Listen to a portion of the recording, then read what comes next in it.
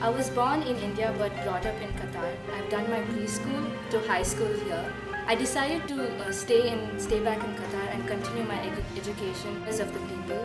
The people here are really amazing and very welcoming. Made uh, plenty of friends uh, in university and they, they all belong to different nationalities. If I did not stay back in Qatar, then I would really miss uh, meeting the amazing people here.